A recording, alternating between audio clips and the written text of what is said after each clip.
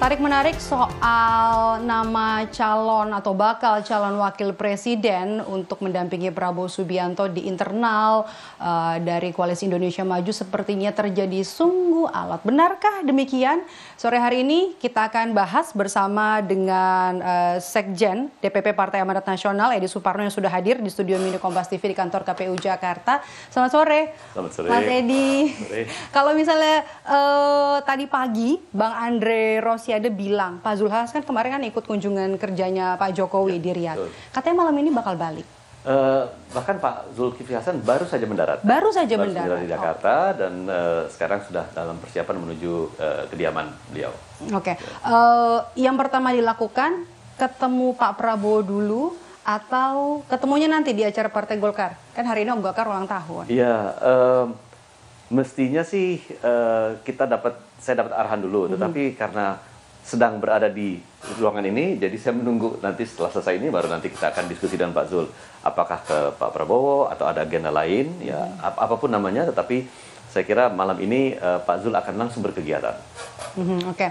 uh, eh, karena semua ketua umum parpol di Koalisi Indonesia Maju sudah ada di tanah air, semuanya lengkap. Artinya sebenarnya nggak perlu waktu lama dong ya untuk menggelar uh, rapat pertemuan. Apa nunggu rapimnas dulu? Apa setelah rapimnas malam nanti? Ya, memang uh, rencananya adalah kita menunggu kedatangan Pak Zul untuk mm -hmm. kemudian melakukan uh, forum, forum yang dikatakan forum para ketua umum mm -hmm. untuk kemudian memutuskan siapa di antara para ketua umum yang sudah mengajukan nama-namanya itu melibahas nama-nama tersebut dan siapa di antara nama-nama yang sudah diajukan itu yang kemudian akan diputuskan sebagai pendamping Pak Prabowo Subianto di Pilpres 2024. Tentu kita juga ingin mendengar siapa yang ingin dikendaki oleh Pak Prabowo sendiri mm-hmm. ya aspirasi Pak Prabowo seperti apa uh, dan apa yang melatar belakang uh, belakang, belakangi pemikiran Pak Prabowo mm-hmm. ya itu semua akan kita tampung kita akan bahas bersama-sama mm-hmm. dan saya kira uh, ini adalah sebuah forum yang sudah kita sepakati sejak awal pembentukan mm-hmm. koalisi okay. ini dan kita sudah sepakat juga dari awal bahwa forum ini mencari mu, apa mufakat mufakat yang bulat itu jadi meskipun ada perdebatan tetapi ujung-ujungnya terjadi kemufakatan supaya hmm. apa semua nanti akan patuh taat dan menjalankan keputusan itu secara konsekuen patuh dan taat ya. patuhnya kepada siapa nah pada keputusan kepada keputusan, forum iya. keputusan ya. forum nah ya. uh, berarti benar dong kan bang Andre Rosiade tadi di uh, program Sapa Indonesia pagi Kompas TV kan bilang kemungkinan kalau nggak Sabtu Minggu jadi benar dong Ya kalau memang hari ini diputuskan bahwa ada pertemuan ketua umum, ya kan saya sebagai sekjen kan hanya ikut hmm. uh, menyelenggarakan saja, ya. Tetapi kami sudah siap, uh, kami bahkan sudah menunggu kedatangan Pak Zul hmm. uh, dan uh, saya juga sudah uh, siap untuk melaksanakan tugas yang akan beliau amanatkan kepada saya, apa pun namanya, apakah mempersiapkan pers apa, pertemuan dengan Pak Ketua Koalisi, ya pertemuan antara para ketua umum yang memang uh, pasti akan diinisiasi oleh teman-teman dari Gerindra ya, hmm. ya tentunya. Tetapi kita sudah siap untuk bertemu malam ini besok okay. pun juga. Jadi kapan pun kita sudah siap. siap ya. Kan uh, Pak Erik udah urus SKCK tuh ya. hari Selasa kemarin 17 Oktober itu kan nggak ada urusannya sebenarnya kalau misalnya bukan untuk nyalon gitu ya, hmm. untuk jadi cawapresnya Pak Prabowo. Pertama sudah ngurus SKCK, kemudian Pak Zul juga kan dinas luar negerinya bareng sama Pak Erik itu ada soal uh, nama yang bakal mengerucutkah dibahas sama Pak Zulhas pulang ini? Ya, saya kira uh, itu mungkin Pak Zul yang paling pantas dan paling pas hmm. menyampaikan itu, tetapi saya yakini bahwa yang sekarang ini kita bahas adalah ya putra-putra terbaik yang sudah diajukan oleh uh, para uh, para partai politik -hmm. yang tergabung dalam koalisi Indonesia Bersatu. Sebagaimana diketahui, PAN -hmm. mengajukan Pak Erik, kemudian Pak Air Langga didorong oleh -hmm. Pak Partai Golkar, ya dan lain-lain itu Pak Yusril oleh PBB. Ya, tinggal sekarang kita bagaimana mendudukan semua partai hmm. semua partai polisi ini part, eh, semua ketua umum duduk bersama membahas nama-nama yang sudah ada tersaji di, di atas hmm. meja kurang okay. lebih seperti okay. itu. Mas Edi, apa yang bikin semuanya kesannya alot, tarik menarik, kemudian pembahasan nama uh, pendampingnya Pak Prabowo? Saya perlu klarifikasi di sini bahwa hmm. Tidak ada yang namanya alot, okay. tidak ada tarik menarik, tidak ada hal yang sifatnya apa kemudian uh, genting sehingga tidak tercapai kesepakatan. Yang mungkin terlihat karena ada jeda waktu antara pertemuan terakhir para ketua umum dengan saat ini yang kita akan bertemu kembali karena jeda waktu itu mungkin timbullah spekulasi-spekulasi. Mm -hmm. Tetapi saya bisa pastikan itu tidak ada. Yang ada hanya pada waktu ini kita menunggu Pak Zul kembali, Pak Zulkifli Hasan kembali dan alhamdulillah beliau sudah tiba di tanah air mm -hmm. uh, untuk bisa kemudian merundingkan ya siapa yang kemudian akan menjadi cawapres. Saya kira masalah jadi, jadi nggak alot ya. Masalah waktu saja. Jadi nggak alot, Pan sudah pasti kekeh uh, mendukung Pak Erik. Pak Erik juga udah urus SKCK. Kalau masalah kekeh atau tidak, ya itu saya kira sudah selesai semua di antara para part, apa, partai politik karena kita sudah menyampaikan mm -hmm. kehendak kita.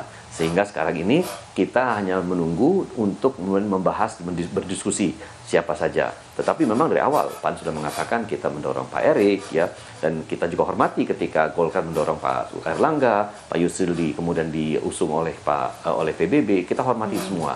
Sekarang ini kita hanya betul menunggu finalisasi tahapan dari apa yang sudah kita usulkan di bulan-bulan sebelumnya. Itu, itu kan diusul sama PAN nih, ya. PAN Erick Thohir. Ya. Tapi uh, ada isu nih Mas Edi, isu juga berkembang dan kuat sekali isunya. Kalau Golkar itu pengennya nama Gibran Raka Buming Raka, sementara PAN maunya Erick Thohir. Nah ini sebenarnya uh, yang nggak cocok, yang bikin nggak cocok antara Golkar sama PAN. Uh, enggak, sama sekali tidak ada. Tidak ada yang namanya tidak cocok, tidak ada yang namanya gontok-gontokan, tidak ada yang namanya dinamika di internal koalisi Indonesia Maju. Tidak ada. Tidak ada, tidak ada. Karena apa pun yang diusulkan, siapa pun yang mengusulkan siapa, itu kita hormati semua. Mm-hmm. Dan itu kita sudah sepakat, nama-namanya itu nanti kita inventarisir, kita sajikan di atas meja diskusi untuk kemudian dibahas bersama-sama. Jadi kan nggak masalah dengan nama Gibran Raka Buming Raka? Kita tidak masalah dengan Pak Erlangga, tidak masalah dengan Pak Yusril, keandai kata pun misalkan eh, teman-teman Partai Demokrat meng, meng, apa, mengusulkan Mas Ahaye, kita akan hormati Nggak, juga. Kan pertanyaannya, jadi PAN nggak masalah dengan nama Gibran Raka Buming Raka berarti? Untuk dibahas bersama-sama tentu tidak masalah bagi kita sama sekali karena kita sudah sepakat kebersamaan ini kita jalin untuk kita bahas dan kita apa akan mencari jalan keluar untuk mendapatkan mufakat yang bulat. Jadi bagi kami siapa pun yang dibahas hmm. itu bagi kami fine saja. Oke, berarti uh, komunikasi antara Golkar sama PAN aman-aman aja, lancar-lancar aja, nggak ada masalah. Sangat lancar, nggak ada masalah sama sekali, sama sekali tidak ada. Oke, uh, kalau misalnya hari ini uh, kalau misalnya hari ini dan sampai nanti uh, Golkar akhirnya mundur kalau misalnya tidak ada nama Gibran Raka Buming Raka, uh, apa tanggapan dari partai-partai pendukung koalisi Indonesia Maju? Jangan dijawab dulu, Mas Edi kita jeda dulu, tetap bersama kami di Rumah Pemilu. Kami akan kembali dengan perbincangan lebih lanjut. Yang saya jeda. Masih membahas soal uh, siapa nama bakal calon wakil presiden yang akan dipilih oleh Prabowo Subianto karena ini tinggal menunggu lima hari lagi nanti pendaftaran di Komisi Pemilihan Umum. Saya masih bersama dengan Edi Suparno, uh, Sekjen DPP Partai Amanat Nasional. Mas Edi, jadi tadi kita kepotong kalau nanti uh, tetap uh, Golkar ini Golkar ini tetap dengan nama Gibran Raka Buming Raka. Yes. Sikapnya PAN. Setahu saya sampai saat ini Golkar berdasarkan hasil uh, rakernas mereka, mm -hmm. Munas Golkar mm -hmm. itu masih menetapkan Pak Erlangga Hartarto sebagai mm -hmm. capres atau cawapres. Mm -hmm. Andai kata besok uh, di dalam rapimnas ada keluar nama baru, ya, dan tentu saya tidak mau berandai-andai, tapi pun kalau sampai ada nama baru yang akan keluar, mm -hmm. tentu siapa pun yang dibahas dan kemudian disajikan namanya di dalam rapat para ketua umum itu, kami akan bahas secara bersama-sama. Dan apa pun hasilnya, siapa pun hasilnya, Pak A, Pak B, Ibu C, siapa pun yang dihasilkan dalam rapat tersebut, keluar namanya kita semua akan menghormati hasilnya dan kita akan betul-betul bekerja sama untuk memenangkan Pak Prabowo bersama cawapres yang sudah ditunjuk dan ditetapkan di dalam forum ketua umum itu. Oke, ada nama Kofifa Indar Parawansa, ya. uh, Gubernur Jawa Timur. Apakah nama Kofifa ini uh, bisa menengahi nama antara dua nama yang sudah ada, Gibran dan juga Erick Thohir? Eh, masing-masing uh, kan memiliki uh, keunggulan, masing-masing memiliki rekam jejak yang berbeda satu dengan lain, masing-masing memiliki basis kekuatan yang berbeda, dan masing-masing memiliki akseptansi di eh, partai-partai uh, politik yang berbeda juga. Saya tentu tidak bisa berbicara atas nama partai-partai lain, tetapi tentu bagi PAN uh, kita sudah sepakat dan bertekad ketika nama siapa pun diputuskan di dalam forum ketua umum itu kita akan jalankan. Ya kita berharap untuk Pak Erick Thohir, tetapi andai kata pun tidak, tetap kita akan berjuang. Misalkan saja nanti yang diputuskan, misalkan saja ini saya berandai-andai Ibu Khofifah atau Mas Gibran atau siapa pun di antara nama-nama yang akan dibahas, tentu kita akan sesuai dengan komitmen awal, kita akan memperjuangkan all out PAN Pak Prabowo bersama cawapres yang sudah ditetapkan itu. Oke, kalau komunikasi uh, PAN-nya bagus, artinya Pak Zulhas bakal datang dong ke rapimnasnya uh, Partai Golkar besok. Saya nggak tahu kan rapimnas itu kan acara internal ya. Mm -hmm. uh, apakah itu kemudian mengundang pihak dari luar? Tentu kami nanti masih menunggu undangan dari Partai Golkar ah, di, kalau kita diundang tentu kita datang. Tetapi saya uh, apa memahami bahwa Rapimnas itu kan acara yang sifatnya lebih internal dan mengambil keputusan-keputusan strategis internal. Uh, belum ada komunikasi dengan uh, antara sekjen juga antara ketua umum partai untuk nanti datang ke acara Rapimnas belum ada? Uh, sejauh ini masih belum tetapi kita kan di uh, sekjen di koalisi ini kita selalu melakukan pertemuan setiap hari Senin ya. Dan Senin kemarin belum ada pembahasan terkait hal ini, tetapi kal kalaupun ada saya kira ya dalam waktu singkat kami juga akan diberitahu. Oke. Okay. Hmm. Ada figur uh, yang disebut-sebut uh, menengahi antara uh, tarik menarik antara dua nama ini. Ada figur yang katanya nih bisa menengahi uh, tarik menarik antara Golkar dan PAN antara Gibran dan juga Erick Thohir.